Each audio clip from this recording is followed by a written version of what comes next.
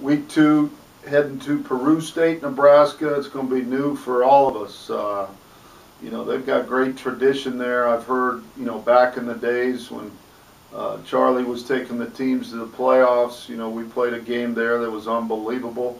Uh, they've got a national championship in their history. Uh, they joined the HAAC last year. We got them first shot out. First game in the HAAC was them at our place, and I think we played real well they were a good football team, but we just jumped on them.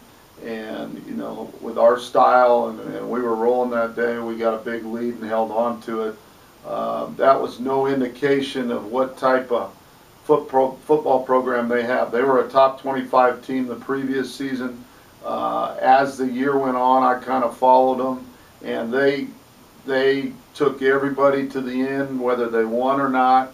Uh, Missouri Valley traveled to Peru late in the year and was down 13 going into the fourth quarter and had to pull out a win there. And we all know how good Missouri Valley is. So, um, you know, we're looking at this game as number one. It, it's our, our, first long road trip.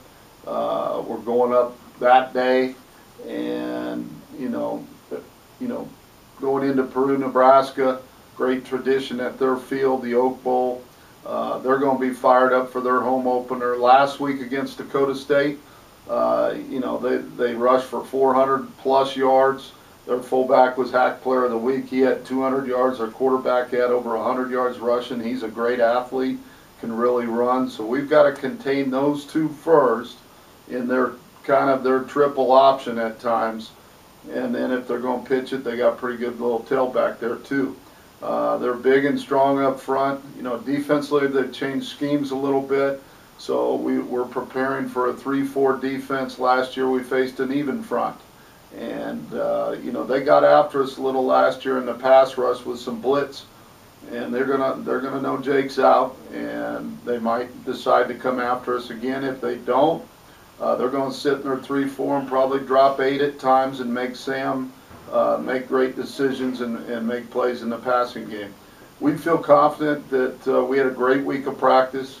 I think we have a great game plan on both sides of the ball. Uh, we're going to leave out of here early in the morning. And, you know, that first road trip, you just hope all goes well. We arrive at the stadium and we kick it off without some of this rain. We're getting some rain here, but uh, the forecast says that they won't hit there till that evening. Uh, you know, the other element, we don't play on a lot of grass. We practice on turf every, every day, and we're going to play on grass there. So there's a lot of challenges for our football team. Uh, we're just excited to be 1 and 0 and uh, being able to, to go to a place that uh, uh, we haven't been before and hopefully pull out a win and, and get home and uh, prepare for the next one.